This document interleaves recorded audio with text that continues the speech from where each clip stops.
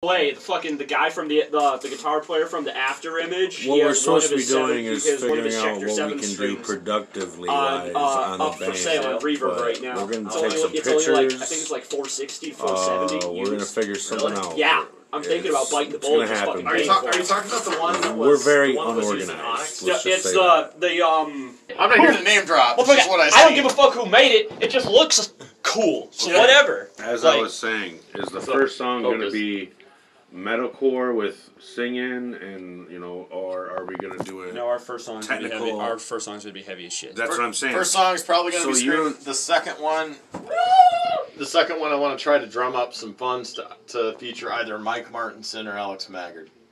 Why are we featuring people already though? We're nobodies. We're nobodies, but it'll help you gain traction. People barely know who Vandalheart is, and they've only got 2,000 likes.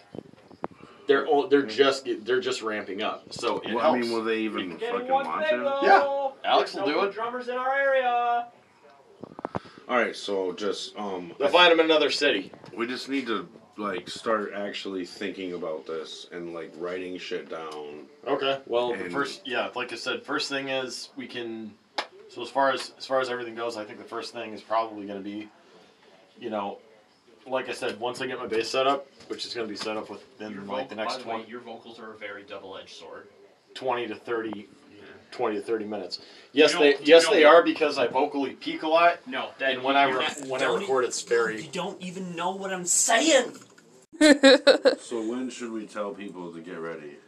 Um, We'll tell people to get. no this point in telling anyone do. to get ready until we have at least one or two songs ready to be released. There's no, there's no point. Not Exactly. not one or two, five. if we don't if all of it if me and micah don't have like stage ready gear and live rig set there's no point in telling anybody to be ready for anything Because No, I'm, I'm yeah. we're, wait, no, but we're doing it on the internet first. We're but do- there's still yeah. d- there's still some legwork that needs to be done. I'll give you an example. Okay, so i didn't do it Uh, no. So basically, what's gonna what, what needs to happen first is we can we can do it in singles, which is like a little at a time.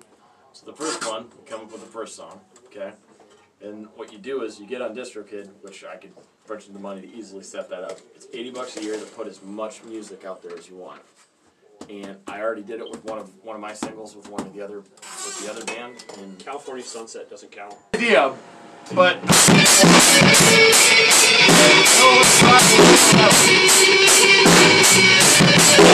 Thank you.